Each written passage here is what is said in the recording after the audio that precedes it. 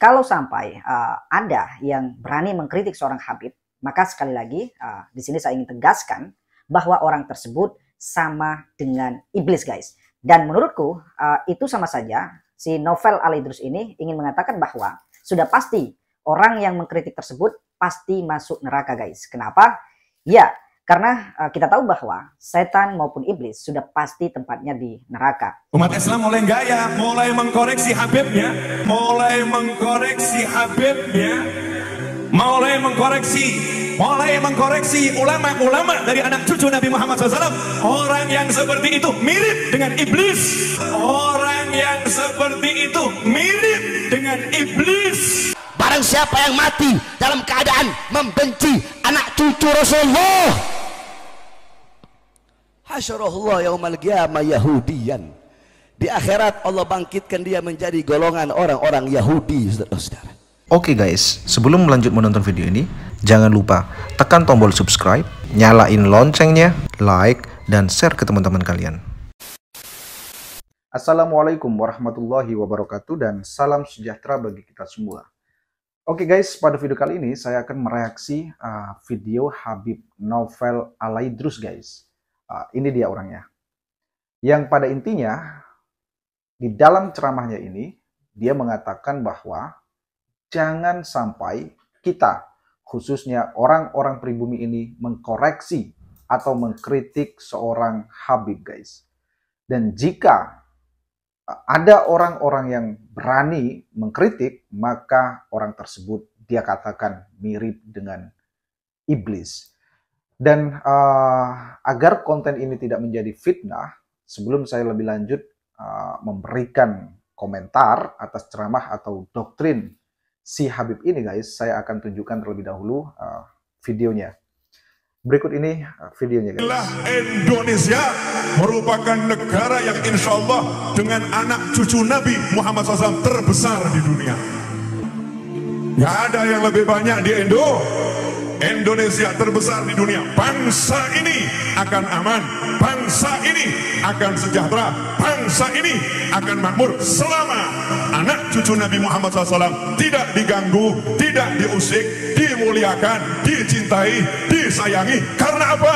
Ada doa dari kakeknya, pemimpin kita semua, baginda Muhammad Sallallahu Alaihi Wasallam.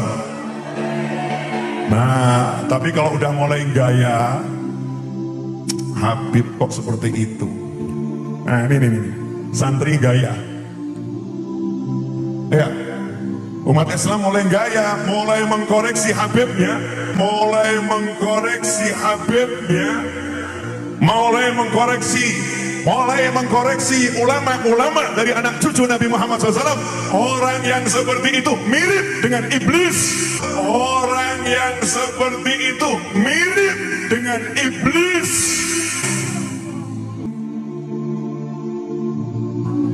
Mirip dengan iblis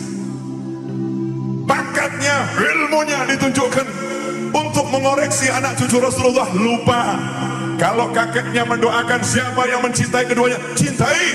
Dan siapa yang menyakiti keduanya aku benci ya Allah. Benci mereka. Mau pamer apa? Mau pamer apa coba? Makanya tolong semuanya sadar. Jangan ikut-ikutan orang yang tidak mencintai keluarga Rasulullah Kadang gara-gara pangkat, gara-gara jabatan, gara-gara kedudukan, gara-gara harta, gara-gara ilmu, kita lupa ajaran para kiai, lupa ajaran para ulama. Bagaimanapun anak cucu Nabi, jangan komentar, cintai, selesai. Jangan komentar, cintai, selesai. Itu tugas umat, gara-gara macam-macam jadi lupa. Gara-gara macam-macam jadi merasa punya sesuatu, sesuatu. Kemudian dia berani menghakimi anak cucu Nabi Muhammad SAW. Dan jangan macam-macam dengan semua yang dicintai Rasulullah. Al ulama warathatul anbiya. Kalau namanya kiai cinta sama Habib, kalau namanya kiai cinta sama Habib, maka kata Rasul Salman minna ahlal bait. Salman itu orang Persi, orang biasa Sama Nabi dibilang itu keluarga saya, itu ahlul bait saya. Kenapa? Karena Salman sangat cinta kepada keluarga Nabi Muhammad Sallallahu alaihi wasallam. Kalau kiai cinta keluarga Nabi, sama Nabi langsung dimasukkan engkau keluargaku. Enak tuh? Makanya jangan ngaku-ngaku jadi Habib. Kurang kerjaan. Gak perlu ngaku jadi Habib.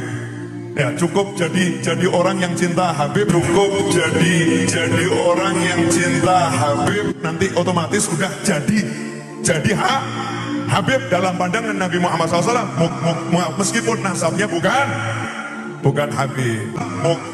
Meskipun nasabnya bukan bukan Habib. Jelas? Mohon maaf ilmu yang satu ini sudah tidak banyak yang nyampaikan kalau kiai dulu disampaikan digandeng anaknya Habib Ambungan Habib Ambungan. Berkah dunia akhirat cintai Habib. Itu kiai dulu begitu. Kalau anak muda zaman sekarang tontok si Habib Sopo tontok si Habib Sopo no cocok gak apa-apa. Gak cocok tinggal no. Kurang ajar itu Habib itu Masya Allah. Na'udzubillah min. Min dhalik Jangan lupa umat Islam di jagat raya sholatnya tidak akan diterima oleh Allah subhanahu wa ta'ala. Meskipun sholatnya nangis sampai keluar air mata darah kalau tidak mau mendoakan Habib. Kalau tidak mau mendoakan Habib. Allahumma salli ala Sayyidina Muhammadin wa ala ali Ya guys, gimana? Sudah jelas apa belum dengan apa yang uh, dia sampaikan tadi bahwa kita dilarang mengkritik seorang yang bergelar Habib, siapa pun itu. Yang jelas, setiap orang yang memiliki gelar, uh, maksud saya gelar Habib, tidak boleh kita koreksi maupun kita kritik dengan alasan apa pun, guys. Dan kalau sampai uh, ada yang berani mengkritik seorang Habib, maka sekali lagi uh, di sini saya ingin tegaskan bahwa orang tersebut sama dengan iblis, guys. Dan menurutku itu sama saja si novel Al Idrus ini ingin mengatakan bahwa sudah pasti orang yang mengkritik tersebut pasti masuk neraka guys. Kenapa? Ya, karena uh, kita tahu bahwa setan maupun iblis sudah pasti tempatnya di neraka. Gimana guys? Benar-benar luar biasa bukan uh, dampaknya.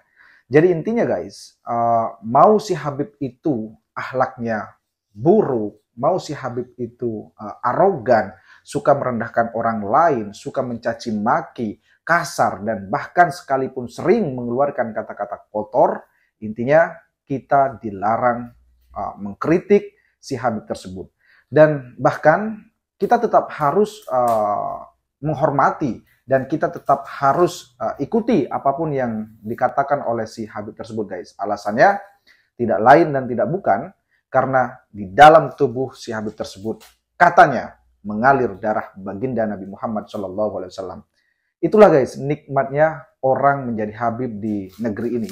Selain mereka merasa paling mulia dan paling suci, seakan-akan mereka juga bisa menentukan surga dan neraka dengan hanya bermodalkan nasab. Nah, pertanyaan saya kemudian khususnya kepada uh, Habib Novel Alidrus ini guys adalah lalu bagaimana jika ada seorang Habib yang mengkritik kiai-kiai kita, bagaimana jika ada seorang Habib yang suka merendahkan kiai-kiai pribumi? Sebut saja, uh, misalnya, ketika beberapa waktu yang lalu uh, ada seorang Habib yang mengatakan bahwa satu Habib bodoh masih lebih utama dan lebih mulia dibanding dengan 70 kiai yang alim. Dan uh, ada juga yang mengatakan bahwa telapak kaki Habib, telapak guys ya, telapak kaki Habib yang maksiat itu masih lebih mulia dibanding dengan kepala kiai yang pakai sorban. Dan lalu bagaimana jika ada seorang Habib yang suka mencaci maki kiai-kiai kita? Yang suka mengatakan curut-curut, kroco-kroco, mengatakan anjing, babi, monyet, dan lain sebagainya kepada kiai-kiai kita guys. Pertanyaannya, apakah kita harus diam saja dan kita tetap harus terima semua itu? Dan kenapa hanya Habib-Habib ini saja yang boleh mengkritik, mencaci maki, dan merendahkan orang lain? Sementara Giliran kita, orang-orang pribumi yang mengkritik Habib, malah kita disamakan dengan iblis. Bagaimana guys menurut kalian? Tulis pendapat kalian di kolom komentar. Dan kalau ternyata ini hanyalah bentuk doktrin dan pembodohan saja guys, maka menurut saya tidak ada pilihan lain buat kita selain kita lawan doktrin-doktrin sesat ini agar tidak semakin banyak orang-orang pribumi yang menjadi budak-budak mereka guys. Sekian video kali ini dan terima kasih.